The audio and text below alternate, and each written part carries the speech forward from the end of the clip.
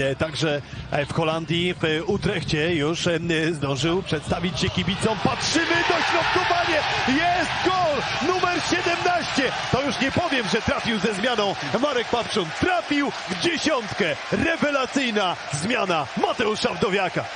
No możemy powiedzieć, że Marek Papczun potrafił zmiany. Świetne dośrodkowanie tutaj Nowaka, to trzeba przyznać, no ale zamknięcie, domknięcie tej całej akcji